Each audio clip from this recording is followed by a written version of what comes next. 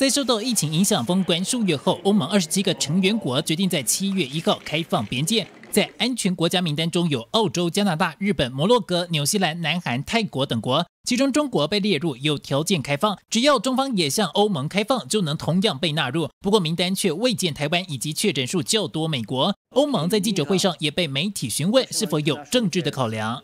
We understand also that the U.S. will would not be on that list, and that China might be on that list. I I guess that.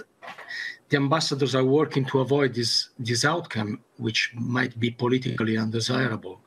With the approach being based on a common list agreed by the member states based on objective criteria, and there's a set of uh, criteria that we suggest member states should use, including epidemiological criteria, uh, also a number of other criteria relating, uh, among others, to the economic and social uh, considerations.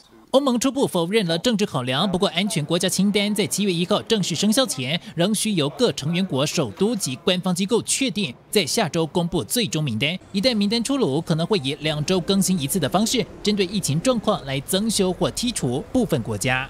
新唐人亚太电视唐杰整理报道。